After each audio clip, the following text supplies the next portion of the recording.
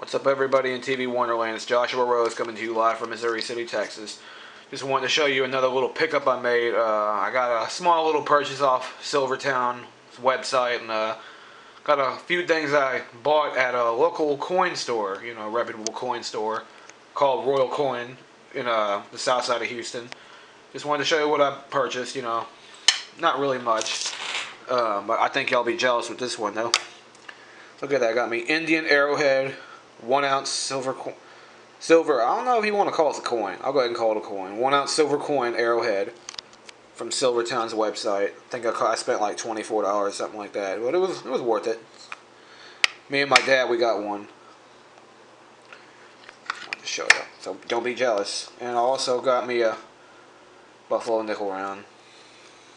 I already got a few of these, but I just went ahead and purchased one anyway, just for the hell of it. And this is what I got from my local coin store. $35 a piece, not much. Some Confederate currency. It's my first time having Confederate currency. See? Confederate States of America. Maybe two of them.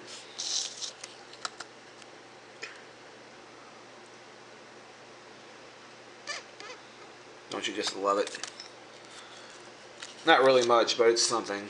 Um, anyways, this is going to be a short little video. Um, I don't make large purchases like some people, you know. I mean, I just, I, I don't, you know, have the money to throw around like that. I'm not going to lie. I just buy what, I, you know, I have a mortgage, you know, electrical bill, etc. Y'all understand. So I just get what I can uh, afford at the moment. But anyway, feel free to rate, comment, and subscribe. Peace out.